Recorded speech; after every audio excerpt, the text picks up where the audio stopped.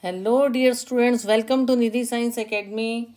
We were studying structure of atom. In structure of atom, we have studies. Uh, we have already studied about uh, electron and cathode rays. Today, we will discuss discovery of proton. Discovery of proton. Atom as a whole क्या electrically neutral होता है वो? ना वो positive होता है, ना ना नेगेटिव होता है एटम पर इलेक्ट्रिक डिस्चार्ज जब होता है कैथोड रे ट्यूब में गैसियस एटम प्रेजेंट होते हैं तो वो गैसियस एटम होते हैं, वो आयन आयनाइज हो जाते हैं to form ion to form positively charge particles and electron जैसे इसी चीज़ को मैं एक फॉर्म में देती हूँ आपको, जैसे एटम जो है what we are saying that atom neutral होता है। पर कैथोड रे ट्यूब के अंदर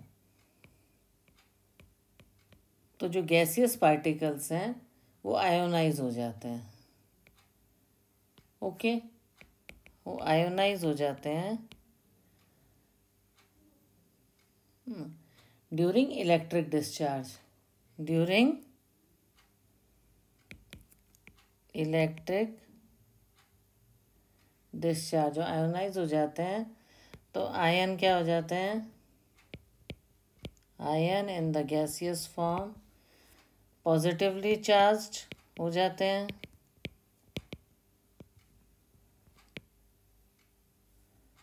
और कुछ आयंस इलेक्ट्रॉन नेगेटिवली चार्ज हो जाते हैं। Okay clear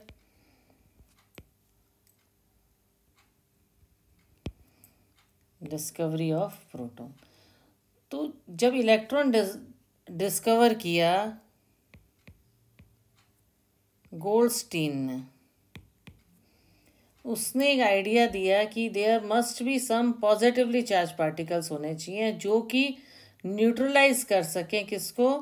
positively charge particles होने चाहिए जो कि न्यूट्रलाइज कर सकें। नेगेटिवली चार्ज्ड पार्टिकल्स को। नेगेटिवली चार्ज पार्टिकल्स क्या है? इलेक्ट्रॉन्स को। तो इस तरह से क्या होगा? इलेक्ट्रिक न्यूट्रलिटी मेंटेन रहेगी। एटम में क्यों ज़रूरी है? To maintain the electrically neutrality maintain रहेगी। किसकी एटम की। तो इस आइडिया से क्या? This led to discovery of proton this led to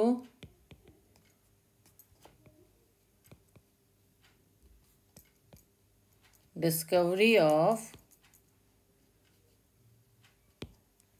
proton clear तो जो डिस्कवरी की गोल्ड स्टिन ने वो की गई एक कैथोड रे एक्सपेरिमेंट किया गया परफोरेटेड कैथोड पे।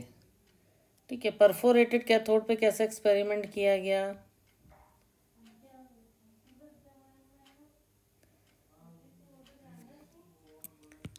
अगेन हम उसका एक्सपेरिमेंटल फॉर्म बनाएँगे। पहले ये हाई वोल्टेज हमने कनेक्शन देंगे इसमें। इसमें ये हम परफोरेटेड कैथोड बनाएँगे।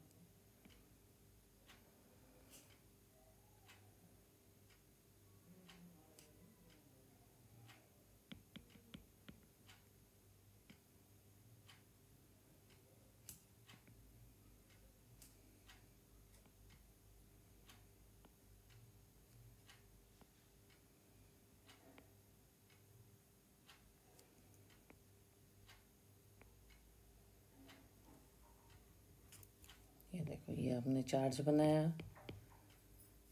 ओके यहाँ पे पहले लिख देते हैं हम high voltage what we will write here high voltage तो परफोरेटेड बनाना है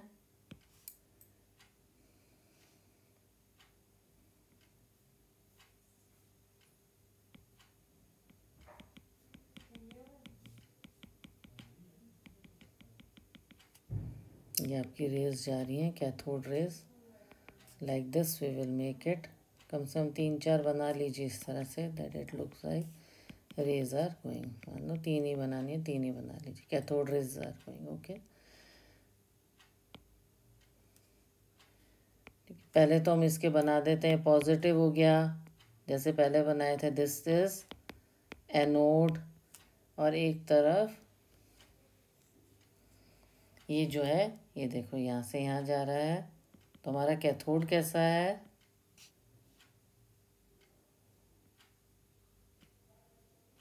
दिस इज़ परफोरेटेड कैथोड ये जो है, ये ये परफोरेटेड कैथोड ओके ये क्या है?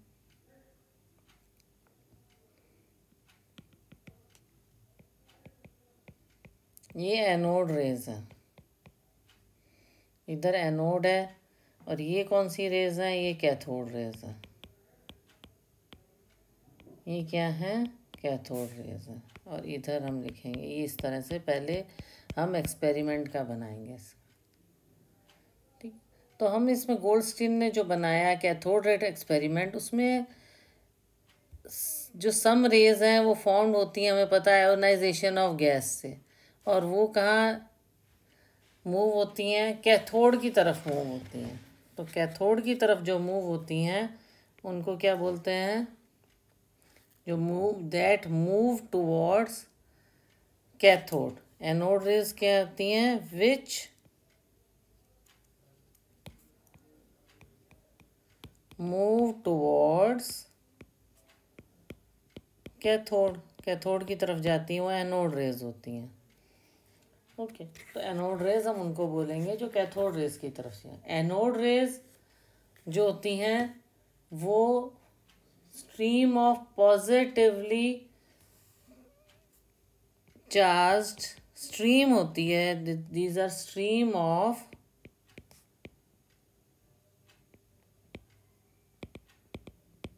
positively charged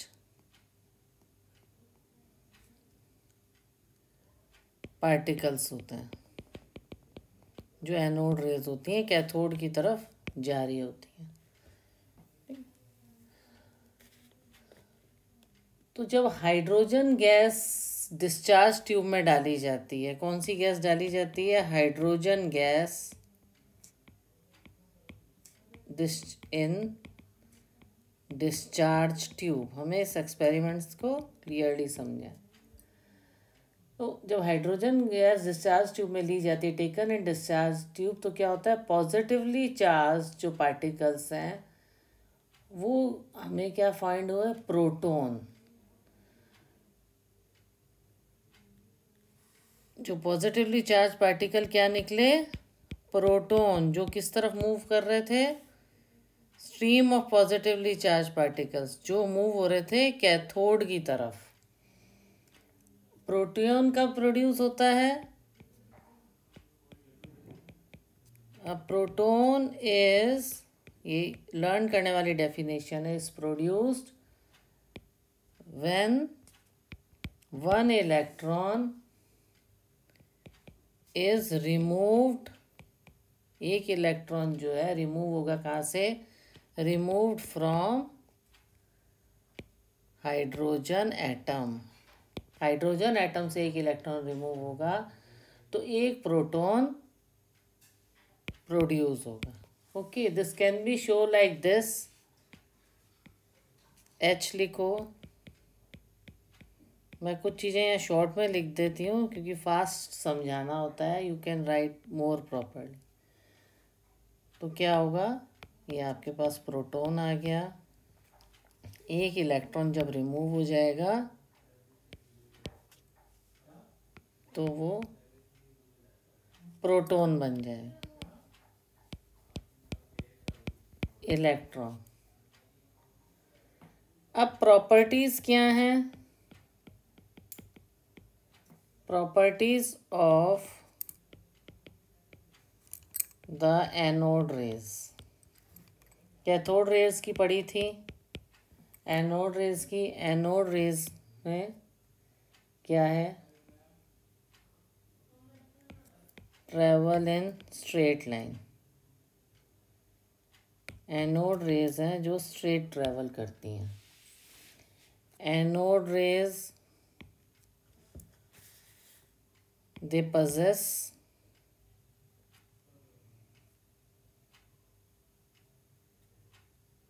they possess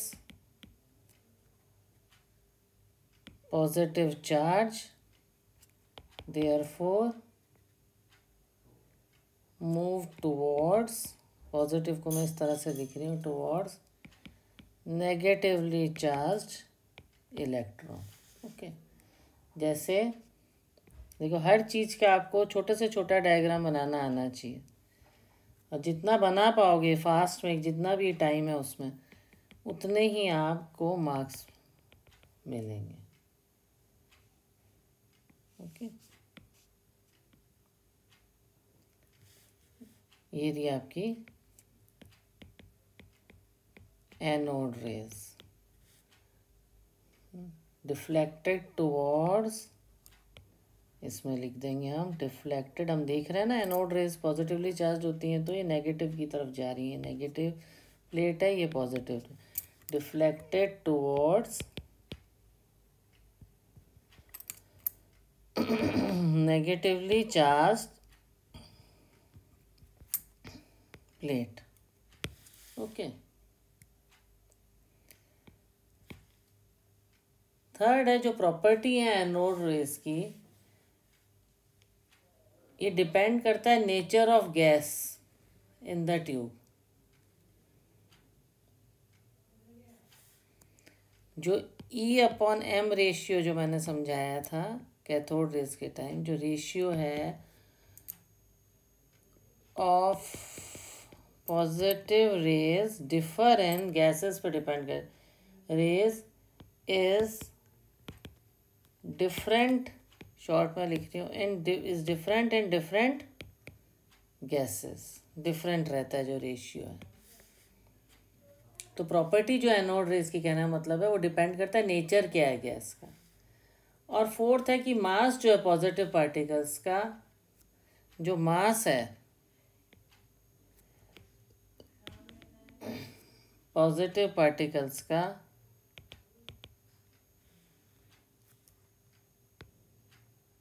same as atomic mass atomic mass जो है एटॉमिक मास ऑफ़ जो गैस का एटोमिक मास है, जो कि डिस्चार्ज ट्यूब में मास ऑफ़ पॉजिटिव पार्टिकल जो है is same as atomic mass of the gas. Gas कौन सी? जो कि डिस्चार्ज ट्यूब के अंदर है। Inside discharge tube. Okay fifth है, जो चार्ज आयन है, जब मूव करता है कैथोड तो carries magnitude of positive charge. और ये डिपेंड करता है number of electrons lost by the corresponding gaseous atom. Gaseous atom कितने इलेक्ट्रॉन लॉस करता है? जैसे हमने हाइड्रोजन का पढ़ा था। हाइड्रोजन एक इलेक्ट्रॉन लूज करता है तो प्रोटॉन बनता है। तो ये एटम ए है। ये आयोनाइज हुआ। ओके। तो वन इलेक्ट्रॉन लूज हुआ। तो ये कितना चार्ज हुआ? One unit positive charge one unit positive charge ऐसे ही एटम बी लिया हमने। एटम बी जो है,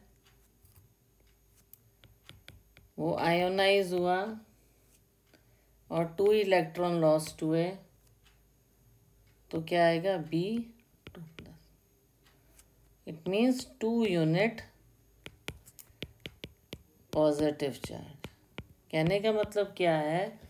Charge ion move towards cathode carries magnitude of positive charge और ये मैग्नीट्यूड किस पे डिपेंड करता है? Number of electron lost by the corresponding gaseous atom में कितने नंबर ऑफ़ इलेक्ट्रॉन लॉस्ट करेगी? उस हिसाब से मैग्नीट्यूड होगा पॉजिटिव चार्ज डन अब है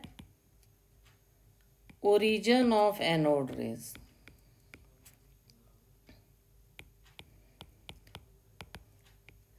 anode rays हैं, ये प्रोड्यूस की जाती हैं result of knockout of electrons from the gaseous atoms या हम कहेंगे by the bombardment of high speed stream of electrons from cathode origin कैसे हुआ? कैसे ओरिजिन होता है?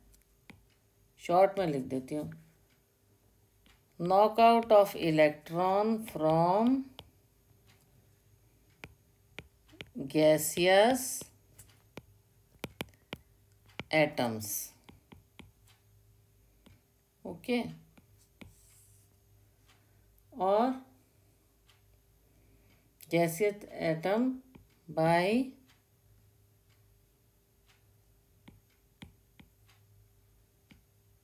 bombardment of जैसा कि अभी ऊपर समझाया भी है high speed stream of electron जब निकलेंगे फ्रॉम कैथोड से, तब ओरिजिन होगा एनोड रेस का। किसका होगा? एनोड रेस का, ये एनोड रेस ये देखो। ये एनोड रेस का ओके क्लियर ये अब था प्रोटोन के बारे में। अब है?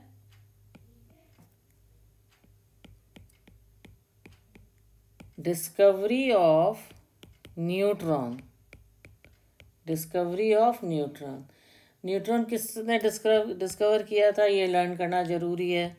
चैडविक चैडविक ने 1932 में, when he bombarded a thin sheet of beryllium particles by alpha particles. उसके बाद electrical neutral particles having mass slightly greater than that of protons were emitted कब एमिट किए गए? जब जब उसने क्या किया?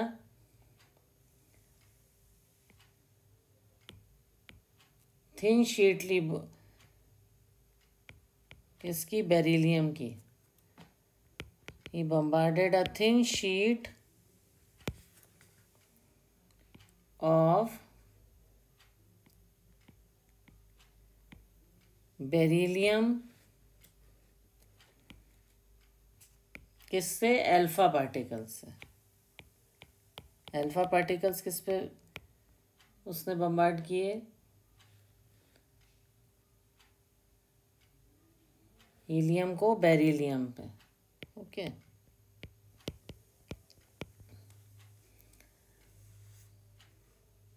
तब क्या हुआ? इलेक्ट्रिकली न्यूट्रल पार्टिकल्स मिले उसे। Electrically he found electrically neutral particles जिनका मास ग्रेटर था प्रोटॉन से।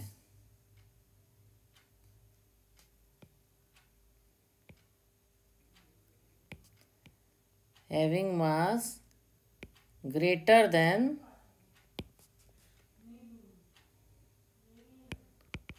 greater than protons वो एम ए टू है ठीक है? Clear when he bombarded a thin sheet of beryllium by alpha particles. तो इलेक्ट्रिकली न्यूट्रल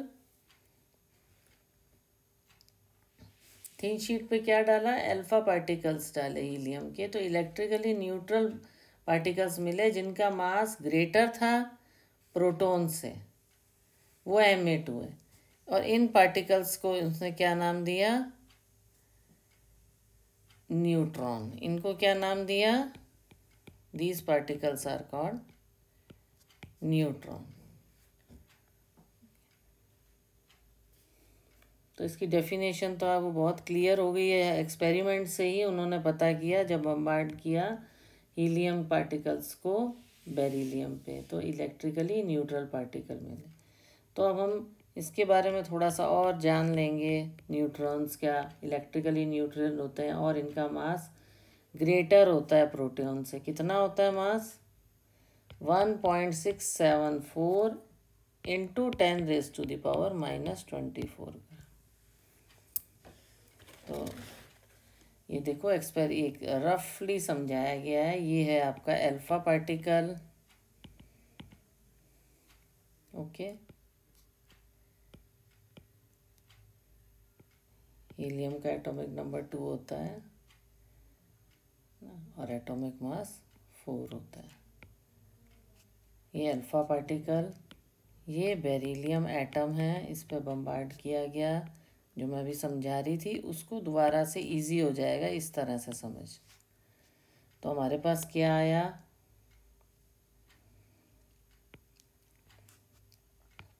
कार्बन एटम आया। ये देखो, ये इसका एटॉमिक मास ये इसका एटॉमिक नंबर और क्या आया हमारे पास? और हमारे पास न्यूट्रॉन मिला। ओके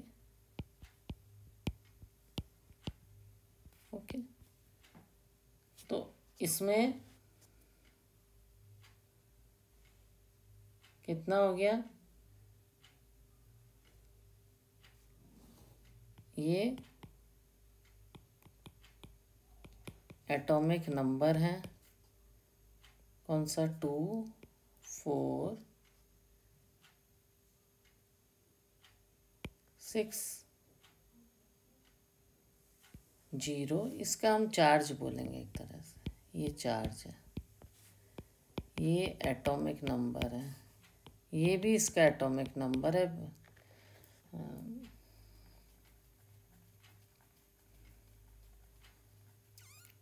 हम ऐसे ही करते हैं ना हाइड्रोजन हीलियम लिथियम बेरिलियम कौन से नंबर पे है? फोर नंबर और हीलियम का टू होता है, पर हम इसे प्लस टू क्या बोलेंगे? एटॉमिक नंबर की जगह what we will write we will write here charge charge okay और इधर चार्ज लिखेंगे। इसका ज़ीरो है और इसका प्लस टू है चार्ज न्यूट्रॉन का। ओके यहाँ पे चार्ज प्लस टू था अल्फ़ा पार्टिकल का। बम्बार्डमेंट हुआ बेरिलियन एटम पे। कार्बन एटम मिला और न्यूट्रॉन मिला। जिस जो कि न्यूट्रल है, इसका उसका चार्ज ज़ीरो है। अब एटॉमिक मास कितना है? मास अप्रॉक्सीमेटली इक्वल या इक्वल या उससे थोड़ा सा ज़्यादा होता है। ट्वेल्व ओके तो ये हमारे पास इसका मास ऑफ़ न्यूट्रिएंट्स है। तो डिस्कवरी ऑफ़ इलेक्ट्रॉन पढ़ा प्रोटोन पढ़ा, सब एटॉमिक पार्टिकल इनसाइड एटम पढ़े। तो उससे हमें एक एटॉमिक मॉडल मिला जिस जो कि फंडामेंटल पार्टिकल का अरेंजमेंट बताता है। Concept of atomic model discovery of electron and proton as sub atomic particle inside the atom led to the concept of एटोमेटल कि भाई उसमें प्रोटोन भी है पॉजिटिव पार्टिकल्स भी हैं नेगेटिवली चार्ज भी हैं न्यूट्रॉन भी है। तो उसके लिए दिमाग में ये आया कि एक एटॉमिक मॉडल भी कॉन्सेप्ट इसका होएगा ही होएगा जब इसमें इतने तरह के पार्टिकल्स हैं। तो इस तरह से इसको हमने एक डिस्क्रिप्शन के लिए एक बताया कि अरेंजमेंट कैसे हुआ। थोड़ा क्योंकि हमने तीनों चीज़ें पढ़ ली हैं इलेक्ट्रॉन प्रोटॉन न्यूट्रॉन तो थोड़ा सा आपको उसको कन्फ्यूज़न नहीं हो। उसके लिए मैं एक आपको टेबुलर फॉर्म में समझाना चाहूँगी। इलेक्ट्रॉन, प्रोटॉन और न्यूट्रॉन का। इसमें हम जब सिंबल देते हैं, सिंबल बहुत सिंपल है। इलेक्ट्रॉन का ई e लिख दिया, प्रोटॉन में पी लिख दिया, स्मॉल आएगा और न्यूट्रॉन में एन लिख दिया। फिर हमने अभी पीछे पढ़ा था क्या? एब्सोल्यूट चार्ज है ना? ओब्लिक सी भी लिख सकते हो। तो इसका क्या था? Minus one point six zero two two into ten raise to the power minus nineteen. Okay और प्रोटोन का क्या है? Plus one point six zero two two into ten raise to the power minus nineteen. और neutron का क्या है? Zero. Okay okay. तो इस तरह से हम डिफ्रेंशिएट करते हैं। अब इसमें हम अगर रिलेटिव चार्ज देखें, अगर हम देखें कि रिलेटिव चार्ज कितना है तो इसमें माइनस वन हो गया, इसमें प्लस वन हो गया, इसमें ज़ीरो हो गया। ओके तो इस तरह से हम, काफ़ी हम डिफ्रेंशिएट इनको कर सकते हैं कि रिलेटिव चार्ज कितना है इसका। मास पर केजी कितना है? मास पर यूनिट कितना है? देखो, मास पर केजी करेंगे हम तो ये nine point one zero nine three nine into ten raise to the power minus thirty one short में भी टू डिजिट्स तक भी पॉइंट के बाद आप टू डिजिट्स तक भी इसको याद कर सकते हो। इतना लंबा अगर नहीं याद होता है तो राउंड अप भी कर सकते हो। माइनस ट्वेंटी सेवन इसका हो गया one point six seven four nine three थोड़ा आपको टेबल ऑब्ज़र्व करने से एक अच्छा डिफ्रेंशिएशन मिल जाता है कि मास पर केजी कितना है, इसमें नाइन है। इसी तरह से फिर से हम अगर इसमें डालें इलेक्ट्रॉन प्रोटॉन न्यूट्रॉन हम कर रहे थे। तो इसमें मास पर यूनिट इसी टेबल को स्पेस नहीं होने के कारण मैं नीचे लिख रही हूँ। मास पर यूनिट इसमें zero point zero zero zero five four इसमें बिल्कुल एग्जैक्टली पूरा लिखा हुआ, जितना रिसर्च से पता लगता है कि मास पर यूनिट कितना है, इसमें one point zero zero eight six seven और अप्रॉक्सीमेटली हम निकाल देंगे इसको, जो मैं आपको कह रही थी, क्योंकि it will be difficult to learn and calculate also तो हम एग्जैक्टली exactly ऐसे लिख देंगे zero one and one almost one के बाद जो ज़ीरो होता है उसकी इतनी वैल्यू नहीं होती ओके okay, तो ये थोड़ा ऑब्ज़र्व करने में हमने पहले देखा इलेक्ट्रॉन का ये सिंबल है पी है एन है ये इनके चार्जेस हो गए ये इनके रिलेटिव चार्ज हो गए ओके okay?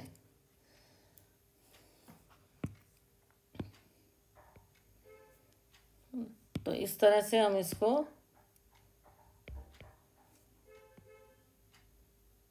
डिफ्रेंशिएट करने में हमें इजी रहेगा टेबुलर फॉर्म में। उसको ऑब्ज़र्व करने से हमें पता पड़ता है इलेक्ट्रॉन प्रोटॉन और न्यूट्रॉन का डिफरेंस मास में और चार्ज क्या है। लास्ट में आपको मैं थोड़ा बत, आ, बताना चाहूँगी कि और टाइप की भी रेज होती हैं जैसे एक्स रेज होती हैं। एक शॉर्ट में आपको थोड़ा सा और नॉलेज देना चाहूँगी। अदर टाइप्स ऑफ़ रेज भी होती हैं। जैसे एक्स रेज होती हैं। एक्स रेज क्या होती हैं? हाई एनर्जी इलेक्ट्रोमैग्नेटिक रेडिएशन होता है, जो कि डिफ्लेक्ट नहीं होता है इलेक्ट्रिक और मैग्नेटिक फ़ील्ड से, और ये हाईली पेनिट्रेटिंग होती हैं। इसीलिए क्लिनिकल लेबोरेटरीज में इनको लगाया जाता है। तो मैं एक शॉर्ट में आपको लिख देती हूँ, जैसे high energy electromagnetic radiation electromagnetic radiation जो कि इफ़ेक्ट नहीं होता है नॉट डिफ्लेक्टेड बाई इलेक्ट्रिक या मैग्नेटिक फ़ील्ड में नहीं डिफ्लेक्ट होती और हाईली पेनेट्रेटिंग होती हैं। इसीलिए इनको किसमें यूज़ किया जाता है? एवरीबडी नोज़ देयर लैब्स में। क्लिनिकल लेबोरेटरीज भी लिख सकते हो क्लिनिकल लैब्स में। फॉर डायग्नोस्टिक पर्पस ऐसी ये सेकंड है। रेडियो एक्टिव रेज भी आपने पढ़ा हुआ है रेडियो एक्टिविटी ये जो होती हैं, ये इनका एमिशन और रेडिएशन सर्टेन एलिमेंट्स अपने आप से करते हैं, जिनको रेडियो एक्टिव एलिमेंट्स बोलते हैं। और रेडियो एक्टिविटी जो फ़ील्ड है, उसको डेवलप किया था मैरी क्यूरी ने पीरे क्यूरी ने रुथर फोर्ड ने एंड फ्रेडरिक सॉडी ने। तो थ्री काइंड्स ऑफ़ रेडिएशन बताए हैं। Three kinds of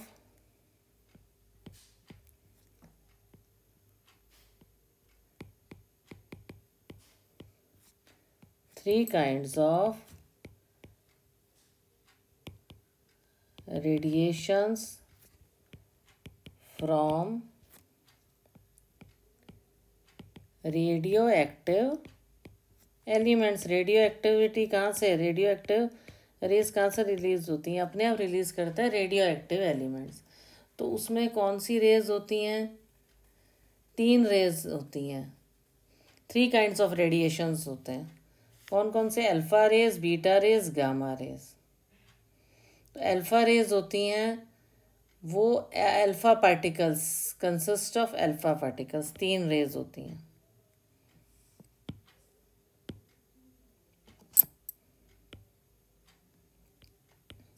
तीन रेज होती हैं। Alpha alpha rays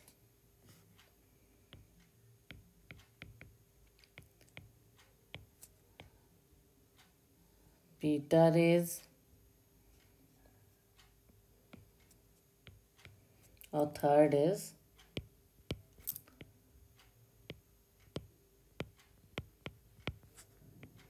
gamma rays okay तो बीटा रेज तो होती हैं, ये नेगेटिवली चार्ज पार्टिकल्स की होती हैं. Beta rays consist of negatively charge particles okay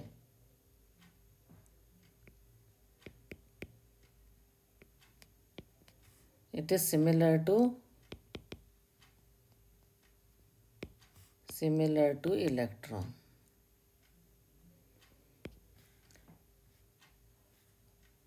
जो जो गामा रेज होती हैं ये कंसिस्ट ही नहीं होती। They do not consist of particles particles की बनी ही नहीं होती। ये न्यूट्रल क्या होती है ये? न्यूट्रल इलेक्ट्रोमैग्नेटिक रेडिएशन होता है। इलेक्ट्रो न्यूट्रल इलेक्ट्रोमैग्नेटिक रेडिएशंस होते हैं। ओके ये गामा रेज ये न्यूट्रल होती हैं, ये सिमिलर टू इलेक्ट्रॉन होती हैं, ये नेगेटिवली चार्ज होती हैं। ओके बीटा रेज फिर ये हमने पढ़ा गामा रेज अल्फ़ा रेज क्या है? ये अल्फ़ा पार्टिकल्स होते हैं कि बनी होती हैं। It consist of alpha particles it consist of alpha particles carrying alpha particles में क्या होता है? इनके अंदर टू यूनिट्स ऑफ़ पॉजिटिव मैं इस तरह से लिखती हूँ। Two units of positive charge two units of positive charge होता है और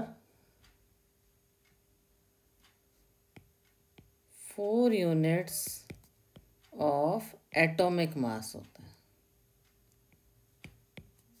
किसमें? अल्फ़ा रेस में।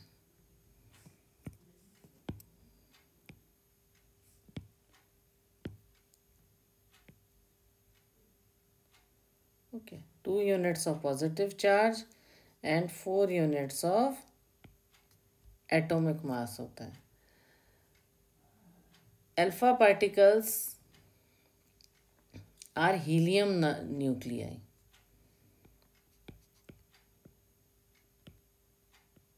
Alpha particles का जो न्यूक्लियाई होता है पार्टिकल्स जैसे इसमें इलेक्ट्रॉन था, इसमें हीलियम ये देखो two units of positive charge and two units of four units of atomic mass. Alpha particles are helium nuclei with two electrons yield helium gas helium nuclei होता है और जब इसको कंबाइन किया जाता है when combine with two electron two electron साथ combine किया जाता है तो क्या मिलता है? Helium gas.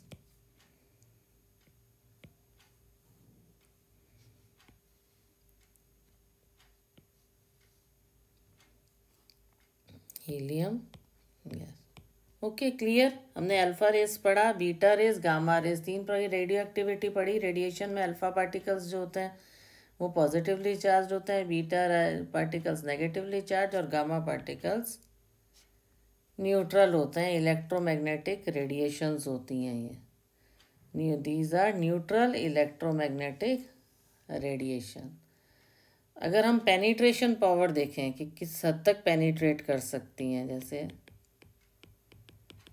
जैसे एक्सरेज का हमने पढ़ा कि पेनिट्रेशन पावर होती है तो डायग्नोसिस में काम आता है ना हाईली पेनिट्रेटिंग होती है एक्सरेज इसमें सबसे ज़्यादा पेनिट्रेटिंग रेज हैं गामा रेज का पेनिट्रेशन सबसे ज़्यादा है। उसके बाद बीटा रेज उसके बाद alpha rays okay all clear तो ये आज हमने पढ़ा प्रोटॉन के बारे में एनोड रेज के बारे में और न्यूट्रॉन के बारे में। आई होप आपको जो भी मैं पढ़ा रही हूँ बहुत अच्छे से क्लियर हो रहा होगा, समझ आ रहा होगा। अगर आपको सब चीज़ अच्छे से समझ आ रही है क्लियर हो रही है, मेरा पढ़ाना पसंद आ रहा है तो चैनल को लाइक करें शेयर करें सब्सक्राइब करें। Okay thank you